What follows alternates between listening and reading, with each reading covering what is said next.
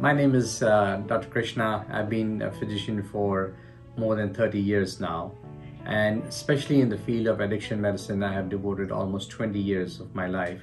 I started doing this when I started first working in emergency room where I saw a lot of overdose cases. And then I went on to go and get my board certification in addiction medicine and continue to help people, especially veterans as is very close to my heart as my father was also a veteran.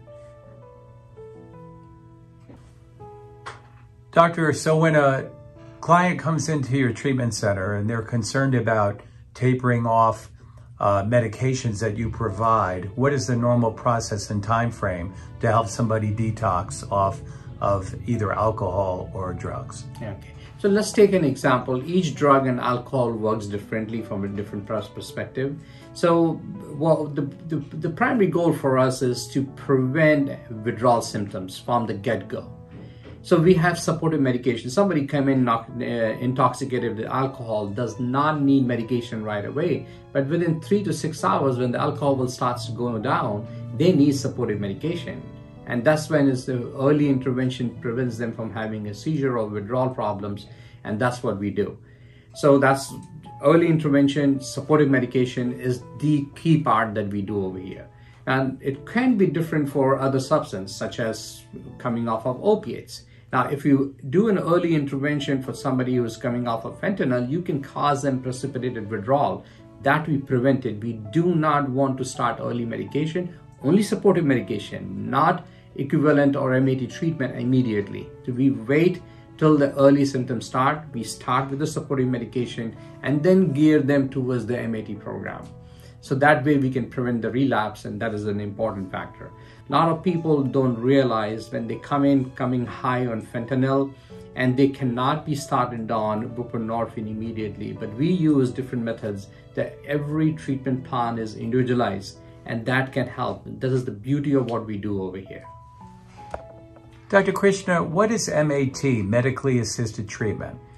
I'm glad that you asked this question. A lot of people are not aware of that people who have struggled with addiction for a long period of time, we replace a medical devised drug, or we call it medicine in this case, and assist replace their craving and their addiction with a similar type of feeling where they're taking in a controlled environment so they do not develop tolerance and do not overdose. So these medicines are designed in such a way that prevents them from overdosing.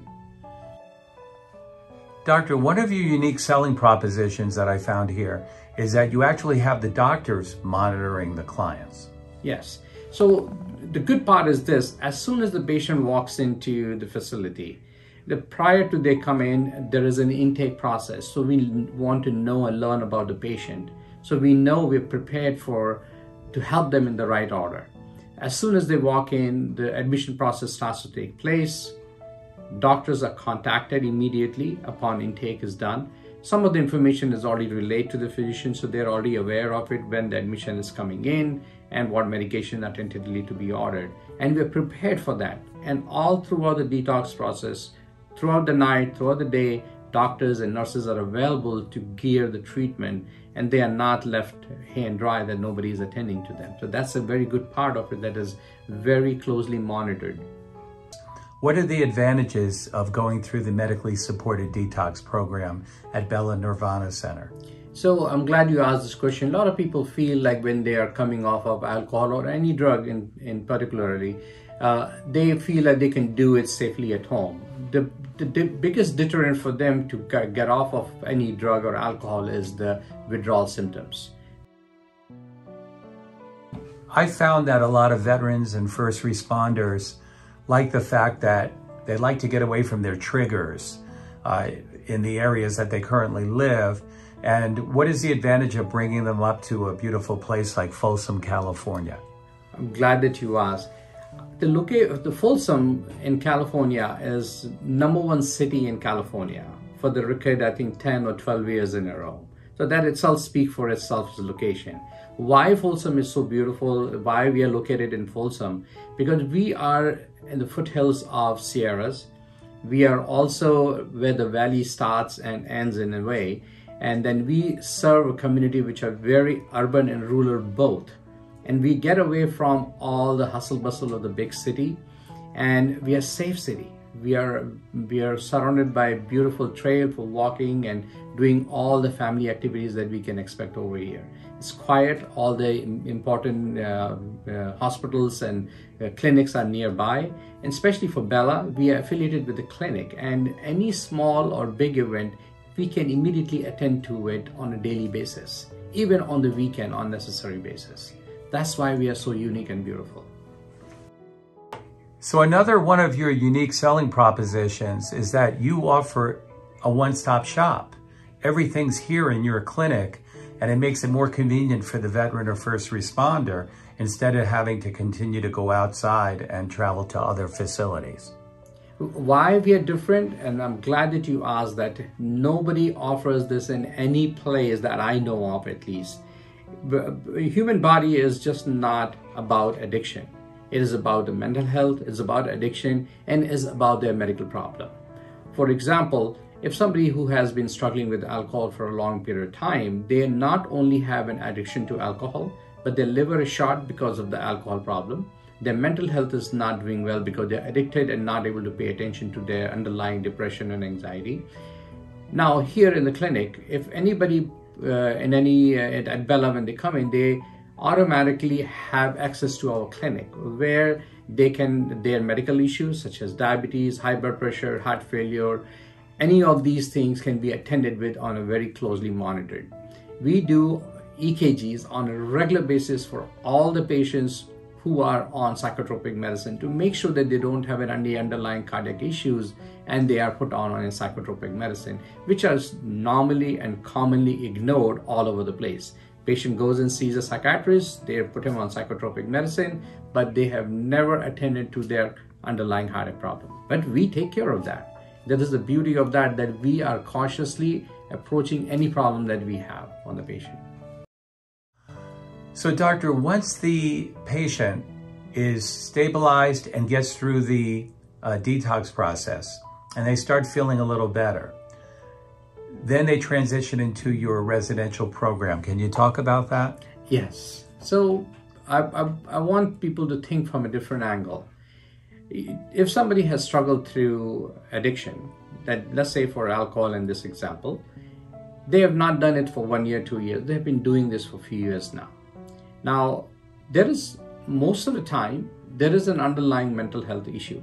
Is a chicken and egg situation. You can say that addiction came first and so mental health came first, or mental health issue was there and the addiction came in because they were unknowingly treating themselves with alcohol, not knowing that they have underlying depression, anxiety, PTSD. Now, here, what we do is so beautiful is as soon as they are done with the detox and they're coming back, so likely chances they have their depression and anxiety will start to slowly flare up. And we know it. That's when our psychiatrist does the intervention to sit down and have a detailed intervention to look into their trauma, they look into their depression, anxiety, all that history, and we go over it again and and that's when we optimize their medication. Now I want you to think about it. If I could fix everybody's problem by a flip of switch, I would have already done it yesterday. But reality is this, we all have to do that little process. We must go through a little process in order to optimize their medication, which is often overlooked in many of the rehabilitation centers because they are just talking about only doing a detox and they leave because the problem has been there for many years. We need to go back to the root. We need to go back to the childhood trauma that most of the people don't even talk about it. We have a special class that is geared towards PTSD. We also do EMDR to help them with their PTSD, their, their treatment resistant depression. And these are a beautiful thing that are offered at Bella that is not offered at any other center. It's a very unique situation to help them in this regard. So, doctor, how long um, is the, let's say, from the detox process onto residential treatment?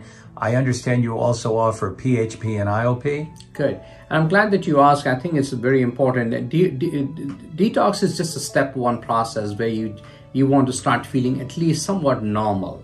and that's when you uh, after your detox is over which was typically depends on the substance it can take anywhere from seven to two weeks up to you know normally to 10 days on average and then we start the residential process. Now we work very closely with the va hospital where we do a weekly review on each and every cases and see how their progress is made. And their continuing to stay is dependent on their how they're progressing in a program. And as long as they're progressing, they, taking participation in the program and doing the steps program that they've been designed for them, then it helps them do better. We encourage them to continue. And we, as we said, as I said earlier, that we talk to the VA and they help. We find a little collaborative work and we continue to renew the program. It can last 30 days, two two months, three months, or more, depending on how they're doing in their program.